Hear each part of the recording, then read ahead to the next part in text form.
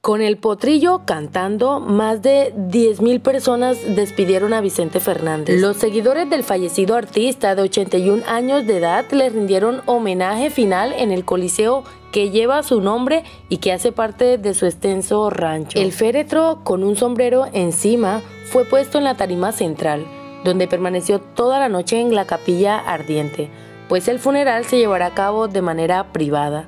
Los fanáticos desfilaron en grupos frente al ataúd, junto al cual estuvo María del Refugio Abarca, Cuquita, la viuda del popular charro de Huentitán. En el momento más emotivo del tribu, Alejandro Fernández, el potrillo, hijo y heredero musical de Chente, interpretó Amor de los dos mientras abrazaba a su mamá, así como otros temas. Mi padre se fue bien, se fue en paz, dijo Alejandro Fernández. Adornado con flores, en el escenario fueron puestos un Cristo y un cuadro de la Virgen de Guadalupe patrona de México y cuya fiesta se celebró el mismo día de la muerte del cantante. Además, un grupo de mariachis cumplió el sueño del intérprete de que su despedida fuera con música. En tanto, en las graderías el coro Vicente está presente no cesaba y muchos de los asistentes que debieron esperar